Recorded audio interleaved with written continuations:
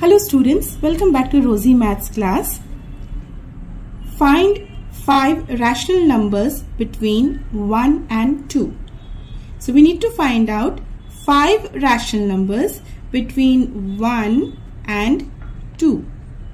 So first step what we can write it as a fraction. 1 by 1, we can write 1 as 1 by 1 and 2 as 1 by 1 because this means the same 1 and 2.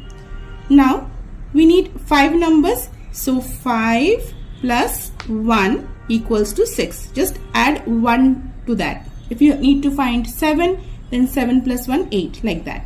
So 6. Now we need to make the denominator 6 for both the numbers.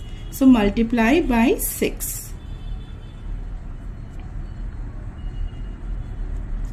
1 into 6 is 6. 1 into 6 is 6. If you cancel out these, again you will get 1.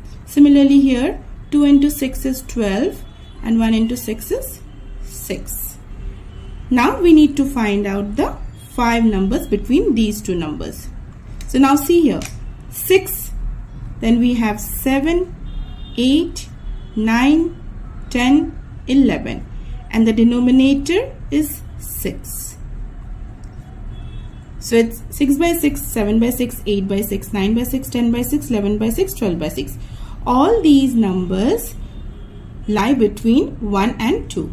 Now wherever it is possible to cancel out the common factor do that. Like 2 times 3 is 6 so 3 2 4s are 8 uh, 3 2s are 6 3 3s are 9 2 3s are 6 2 5s are 10 this we cannot do anything. It's in the simplest form. So the five rational numbers would be 7 by 6 4 by 3, 3 by 2, 5 by 3 and 11 by 6. I hope this is clear to all. Thank you.